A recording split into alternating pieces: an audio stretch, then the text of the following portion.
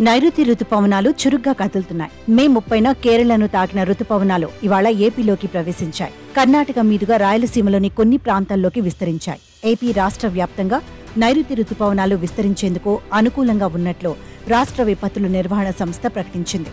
నైరుతి రుతుపవనాల ప్రభావంతో ఏపీలోని పలుచోట్ల తేలికపాటి నుంచి మోస్తారు వర్షాలు కురిసే అవకాశం ఉందని వాతావరణ శాఖ అధికారులు తెలిపారు.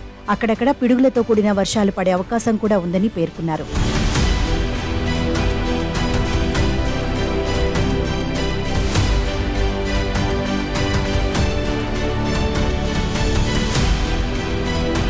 ముఖ్యంగా నైరుతి రుతుపవనాల ప్రభావంతో అల్లూరి సీతారామరాజు శ్రీ సత్యసాయి పార్వతీపురం విజయనగరం వైఎస్సార్ కడప అన్నమయ్య చిత్తూరు తిరుపతి జిల్లాల్లో భారీ వర్షాలు కురిసే అవకాశం ఉందని వాతావరణ శాఖ అధికారి ఒక ప్రకటనలో తెలిపారు.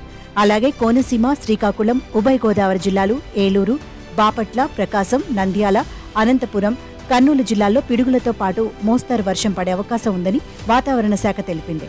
వర్షాల కారణంగా ప్రజలు అప్రమత్తంగా ఉండాలని హెచ్చరించింది.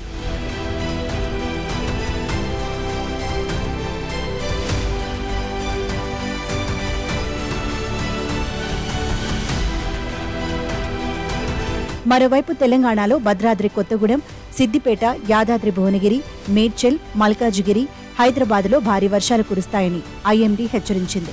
ఇప్పటికే హైదరాబాద్లో పలుచోట్ల భారీ వర్షం కురుస్తోంది. ప్రజలు అత్యవసర పనులుంటేనే బయటకు వెళ్ళాలని ఐఎండీ సూచించింది. మరోవైపు జీహెచ్ఎంసీ అధికారులు అప్రమత్తమయ్యారు. ఎలాంటి విపత్తులు ఎదురైనా ఎదుర్కొనేందుకు సిద్ధంగా ఉన్నారు.